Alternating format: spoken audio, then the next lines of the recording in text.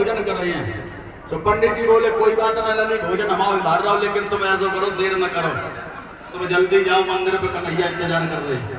ठीक है ठीक है पंडित जी। अब पंडित जी तो चले गए और रुक्मणी के दिमाग में का बात तो जरी गूंज गई। रुक्मणी सोचने लगी जब कोई लड़कनी अपने ससुराल के जाते हैं तो सब सहेलियों से मिलती हैं। गले लगाती हैं बाकी पेट की सुनती हैं अपन पेट की उनसे कहती हैं, मैया के गले से लग कर रोती हैं, और हम बड़ी इतनी अभागने हैं जो हम अपनी मैया से जाओ ना कह सकते कि हम ससुराल जाती हैं। अब भैया से लगी देखो जाए, जो कहते भैया से सब देख ले गए लेकिन हम अपनी मैया से ज़रूर कहिए कि हम ससुराल जाए नहीं है।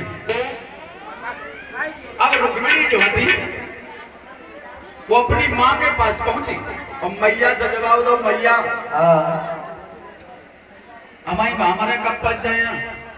बेटिया तुम्हारी कल बरात है पर तुम्हारी भावने करेंगे। ससुराल को कब चली जाऊँगी? पर तुम ले लो मैया हाँ। हमें ऐसा लगा तो हाँ। कि हम ते गले से लग के रोए ले। चुप है तू पर नहीं देख तू ऐसी बात ना करते थे हम करेंगे एकदम कौन ले जाते हैं? अबे तो रोज की तेरी आँखें सूख जाएँगे मैया हाँ। हमें ऐसा लगा तो कैसे? कि हम ते गले से लग के निकल ले तो हमें रोए ले लली देख बेटा अबे मैं रोज जब तेरी आँखें सूख जाए अबे तो रोएगी तो। कल रो लिए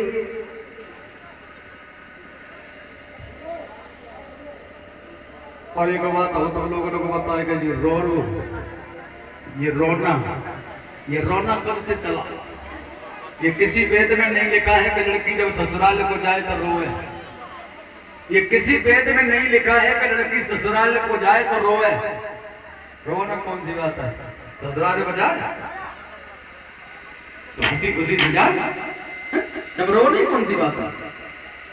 ये रोना कब से चला हमारे देश भारत में? जब हमारा देश भारतीय मुसलमानों का गुलाम था, अंग्रेज़ी शासन था।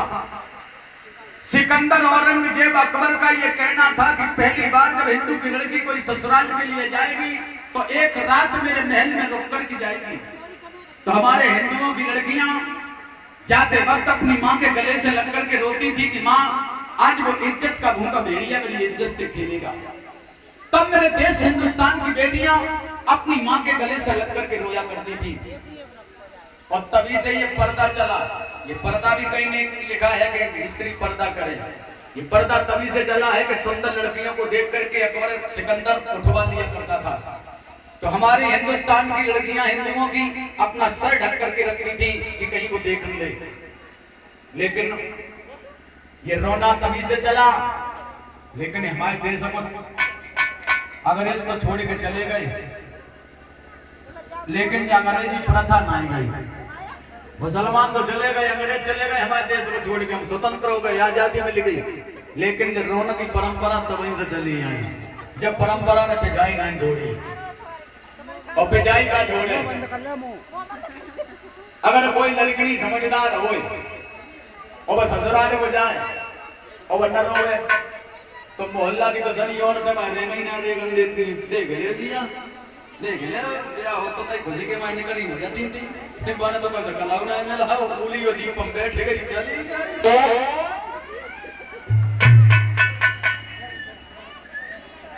ये रोना भी कई तरीका का होता है। आँसू जो है वो तीन तरीका के बताए। हैं तो सोच रहे हो आँसू में कहा भरे को आँसू बहुत बड़ो भरे है। पहली प्रकार के जो आँसू होते हैं कौन से? जब आत्मा में कोई कष्ट होता है, मुसीबत होती है और मुसीबत में जो आँसू निकलते हैं, वो आँसू कैसे होते हैं?